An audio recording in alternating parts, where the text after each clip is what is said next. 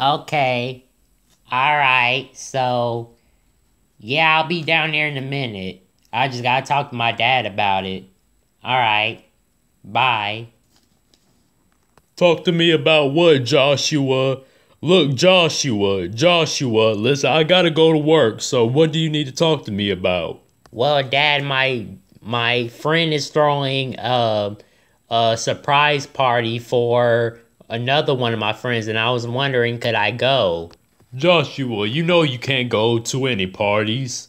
Listen, I don't have time for this. Um, I gotta go. The answer is no, Joshua. Dad, Dad, what do you mean no? Listen, Joshua, Joshua, you better do what your daddy said. He said no, no means no, Joshua. Let it go. Grandpa, nobody's talking to you. What? Hey, Joshua, Joshua, Joshua, don't talk to your grandpa like that. No, the problem is, is that you don't trust me to do anything, Dad. Listen, Joshua, this is not for discussion. I said no. No means no, okay? I'ma go. This is not fair.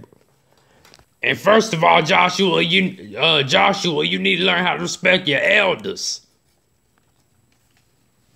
Know what's wrong with that boy? Oh, and who are you, Grandpa? Listen, Joshua, enough with the back talking. Go to your room. Man. I don't know what's gotten into that boy.